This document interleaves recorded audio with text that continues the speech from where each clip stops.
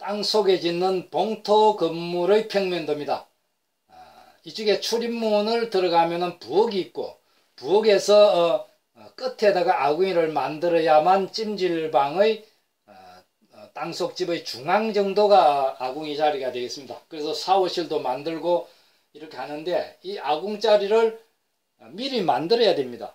그래서 어, 이 부분이 아궁 자리인데 이 부분을 어, 돌과 흙으로서 이렇게 반듯하게 함실 아궁이를 만들고 앞으로 여기에 벽을 싸고 여기는 아, 궁윗 입술 턱이 되는 것이고 뒤에는 식은담의 그 기초가 되는 것입니다.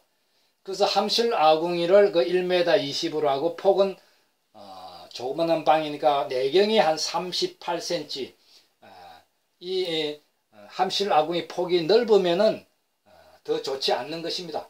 그래서 어, 구들방을 짓는 평면도인데 부엌으로 들어가 가지고 이렇게 아궁이를 직각으로 하지 않고 이방 어, 중앙으로 이렇게 향하게 했습니다.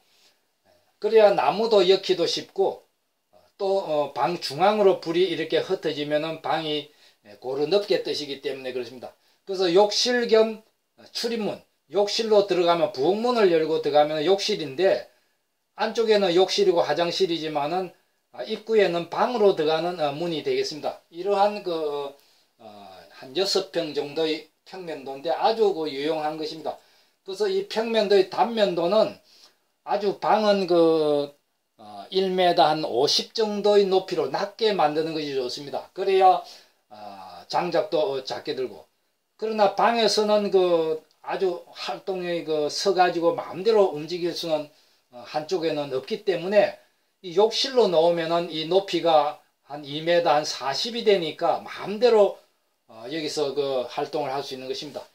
그래서 이런 그 어 평면도와 또는 이런 단면도와 어 또는 그 아궁을 만들었을 때 앞으로 불이 어떻게 어이 찜질방이나 봉토 건물을 고루 따숩게 할 수 있는가 그런 그 구들 놓는 그런 방법입니다.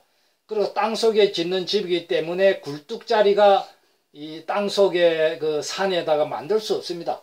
그래서 이 대동 무음구들연구소의 특장점인 어, 아궁이 옆에 굴뚝이 설치되는 그 대동연도의 그 고려 형식으로 놓으면은 어, 아궁이 옆에 굴뚝이 세워짐으로써 어, 그러지만은 방이 아궁이 반대쪽에 있는 굴뚝보다도 이 대동년도 굴뚝을 만들면 더 방이 어, 따숩습니다. 그 이유는 어, 실내에서 그 더운 그 연도 열기가 한 번 더 돌아주니까 어, 더 따숩다 그런 이야기가 되겠습니다.